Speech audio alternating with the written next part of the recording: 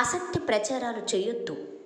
ఏపీలో డ్రగ్స్ గంజాయి సమస్యపై డీజీపీ గౌతమ్ సవాంగ్ కీలక వ్యాఖ్యలు. వివరాలు ఈ వీడియోలో చూద్దాం.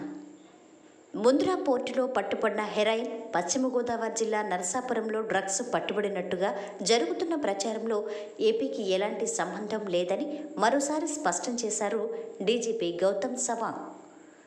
తూర్పుగోదావరి జిల్లా రాజమహేంద్రవరంలో అన్ని జిల్లాల ఎస్పీలు ఉన్నతాధికారులతో మాదక ద్రవ్యాల నియంత్రణపై డీజీపీ మంగళవారం సమీక్షించారు. ఆంధ్రప్రదేశ్ రాష్ట్రంలో రానున్న రోజుల్లో గంజాయి నియంత్రణకు మరిన్ని కఠిన చర్యలు తీసుకుంటున్నట్టు డీజీపీ గౌతమ్ సవాంగ్ తెలిపారు. సీఎం వైఎస్ జగన్మోహన్ రెడ్డి ఆదేశాలతో నెలపాటు గంజాయిపై అధ్యయనం చేయనున్నట్టు తెలిపారు. ఎన్ఐఏ సహకారంతో గంజాయిపై ఉక్కుపాదం మోపుతానని డీజీపీ స్పష్టం చేశారు. గతంలో ఎన్నడూ లేని విధంగా రాష్ట్రంలో గంజాయిపై ఉక్కుపాదాన్ని మోపుతామని డీజీపీ తెలిపారు.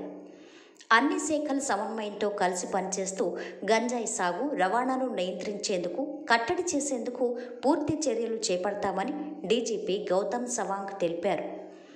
ఇతర రాష్ట్రాలకు చెందిన నేరస్తులపై గట్టి నిఘా ఏర్పాటు చేయడంతో పాటు ప్రత్యేక బృందాలను ఏర్పాటు చేసి వారందరినీ చట్టం ముందుకు తీసుకొస్తామని డీజీపీ తెలిపారు.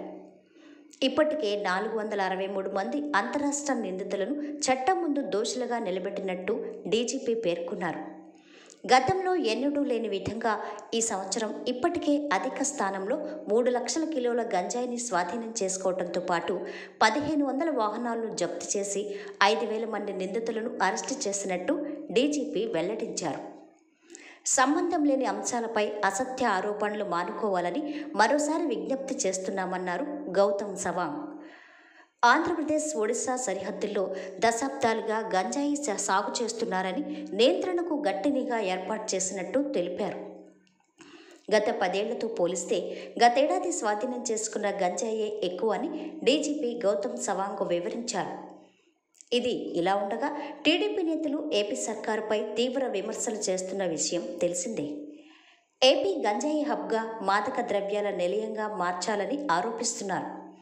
డ్రగ్స్ గంజాయిని అరికట్టడంలో ఏపీ సర్కారు పోలీసులు పూర్తిగా విఫలమయ్యారని టీడీపీ అధినేత చంద్రబాబు నారా లోకేష్తో పాటు పలువురు ఆ పార్టీ నేతలు ఆరోపిస్తున్న విషయం తెలిసిందే.